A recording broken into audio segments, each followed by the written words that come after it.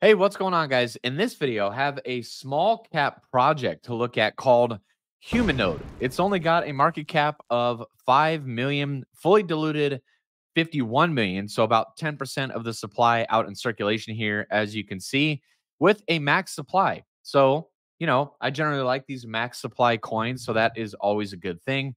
So the, the premise here is one human, one node, one vote. And if you've been around in crypto, you know the reasons why that could be really beneficial. So we're going to talk about this project and that use case in this video. Although it's only got a $5 million market cap, it's got 150.3 thousand followers. So assuming that none of those are paid for, there's a lot of eyeballs on this project with not a very big market cap. So there could be some upside there. Not financial advice, by the way from the made website. So this is the problem, right? The original idea of decentralization is dead, a mere facade behind which validator oligopolies and mining cartels own the networks and dominate the network.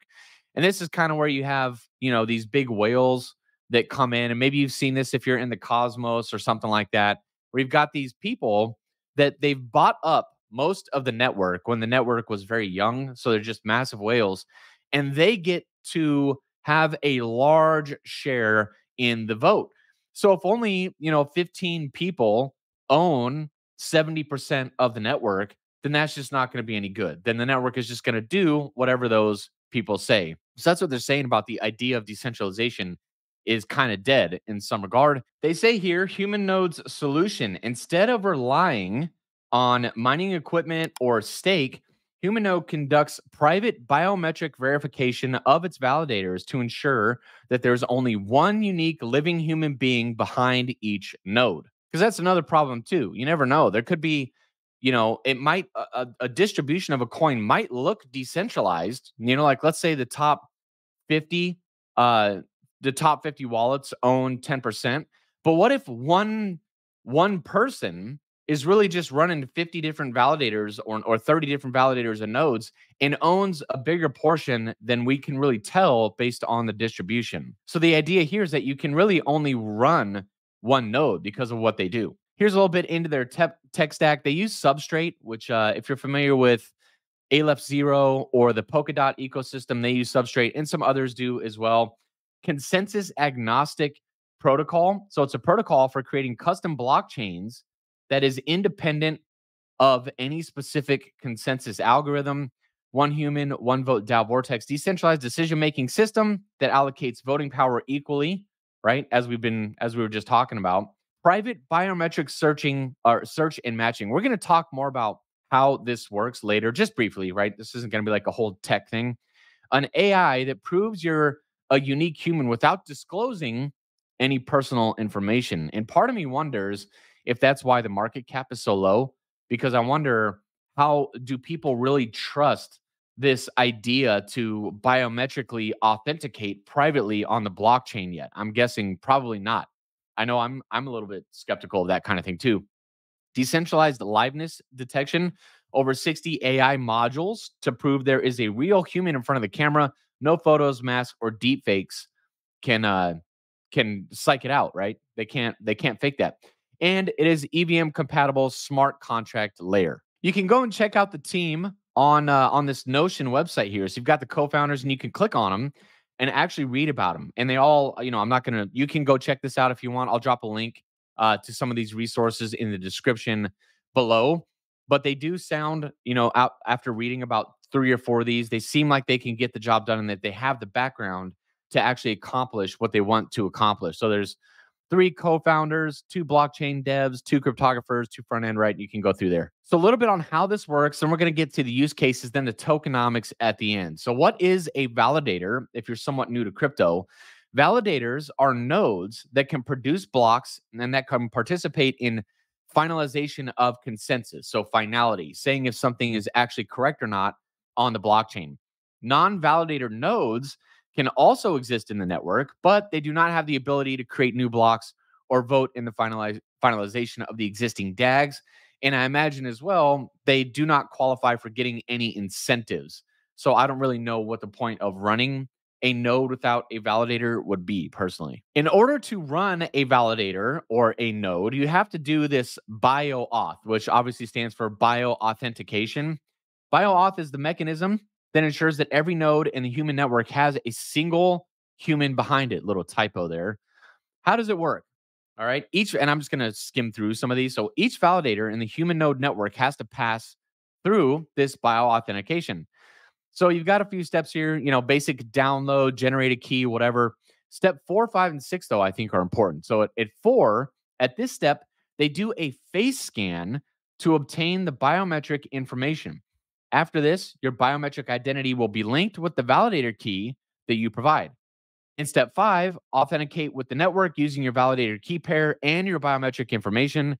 Another face scan is taken and the validator key provided for the authentication is verified to match the key linked to the biometric data.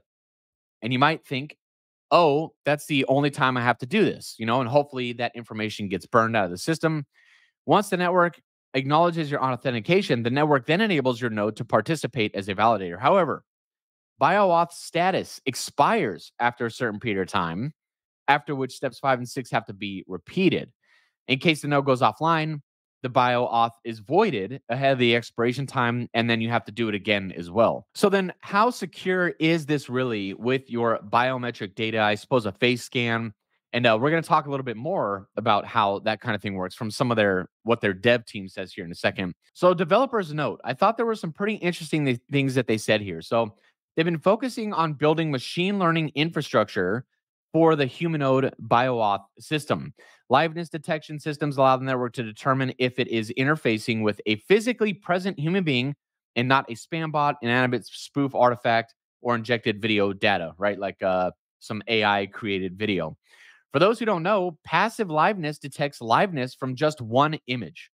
And this is just me. We can learn about this, right? Our passive liveness detection system can detect presentation attacks like photo attacks, screen attacks, silicone mask with great accuracy, which is currently at more than 95%. So, based on a photo, they have a 95% accuracy rate for determining if there's an actual human in there or if there's masks, AI, a bunch of other weird stuff. Our active liveness detection system gives the users the challenge, like blinking their eyes, turning their head left or right, making specific faces, or showing certain emotions. And this system determines liveness based on the results. And you can imagine that's going to be much better if you have to actively do stuff and participate in that bioauth. Nowadays, deepfake technology is one of the greatest threats to these sort of authentication systems. So then you might be wondering, I don't want my face scan to live on the blockchain. And I think they recognize that that's a security issue and they probably don't want that either. So the feature extraction process during authentication will be done on the source node device and the extracted feature will be shared with the other nodes only in encrypted form. So that scan only lives locally, if I am reading that right. So they are working on a zero knowledge proof system, which allows the node to verify that the encrypted vector is indeed encrypted for the correct feature without decrypting that that feature vector. So, and this is maybe where this project is bullish. One point that they don't want us to forget is that the fact that Humanode bioauth or crypto biometric solution is not only for the Humanode network it is built as a layer one technology to work with a majority of the decentralized networks that exist. So imagine if this could be implemented with Cosmos DAOs, and we're going to get to some use cases next, actually. Five use cases. I'm not going to talk about all of them, but some that I thought were pretty cool here. So automated market makers with human centric liquidity. So they're they're vulnerable AMMs, right? This is what you call mercenary capital or like whales that come in and they just they they take all of the incentives, they bounce, dump the dump the token, right? And they might be doing that with multiple wallets and that kind of thing. So they're vulnerable to manipulative practices like wash trading. Bad actors can mess with the liquidity pools, distort price ratios, and trick honest traders into bad deals. Now imagine applying private on-chain biomapping to AMMs. Each liquidity provider would be a verified human not a bot programmed for manipulation, which could be huge. With the authentication tied to unique facial features, you're ensuring that the pool isn't a playground for market manipulators. How about human centric yield farming? Instead of just throwing your tokens into a faceless pool, you could opt for pools that guarantee human only participation. Then you've also got DAOs. So, with the rise of DAOs, there's been a rise in DAO related scams. Anyone can set up multiple wallets, pile up governance tokens, and essentially hijack the entire decision making process. It's governance anarchy masquerading as democracy. And this one seems pretty big. Decentralized ID for gig economy platforms. So, like, for example, they say here, how do you trust your driver, your freelance coder, or the person renting your vacation home for the weekend? Utilizing private on chain biomapping to verify each user's unique human identity effectively filters out the bad apples without forcing users to give up their anonymity. You're not just hiring a five star rated driver, you're hiring a five star rated human driver. Unless Teslas and all those cars take over the world, then there will be no drivers. Regarding the tokenomics here, this is the breakdown. I'm not going to read all these because obviously there's like 15 or 20 of these here. The Treasury Reserve has the biggest portion of 36%. Then you've got the core team that had 11% here, seed round 10.2%, ecosystem fund. And I do believe the prices were disclosed. Yeah, so if you scroll down here, the angel round got it for five cents. Seed round in February 2022 got it at five cents, 10 cents for the strategic round, 17.2 cents in the pre-sale, 15 cents and 13 cents because as we said here, the, the right, the price has been dropping. So it's at 13 cents right now. So this is under what some of the early investors got in at, right? So this pre-sale option was in October, 17 cents. We're under that. Pre-sale option two, 15 cents, under that. Which is which is kind of good, right? This hasn't done a 50x. And if you're looking to invest in it now, you're not going to potentially get necess- you know dumped on right the prices just aren't that different this is what the emission schedule looks like right now the tge was november 15th 2022 so we're at about month 14 right now right about here so it looks like in the next year the supply will double a year after that, it looks like it will nearly double again and then almost nearly double again before, you know, the max supply of 400 million is reached. I'm just loosely, I'm just eyeballing this chart, right? I don't know specifically if they're going to double at those exact intervals, but looks like month 60, that's when everything will be in circulation. And this is pretty aggressive, right? Right now we're in month 14. The last year would have been pretty good. Now we begin this aggressive emission schedule. So we'll have to see how that goes and how much sell pressure there really is. But really, the project, right, at this price, if I just go back to the max, it it's right back. So it launched, right? It made it up to 20 cents and then got dumped all the way down to two cents. And then now it is it is back to recovered. So at this stage, there's not going to be a whole bunch of resistance. And actually, this price only goes back to April 2023 on CoinGecko. So I'm not sure when the token was actually tradable or not, just that the token was generated November 15th, 2022. So assuming that there's not a lot of resistance on the way up on this chart, if it's not falling from like a dollar and 20 cents or something like that, then you might not have a lot of resistance. This chart has a lot of room to potentially go up without a lot of people selling it eh, selling it down you know? Either way it seems like a really interesting project and only at a 5.3 million dollar market cap maybe something worth taking a gamble on but not financial advice anything like that. If you're still here don't forget to hit the like button subscribe hit the notification bell for more content like this in the future and i'll see you on the next video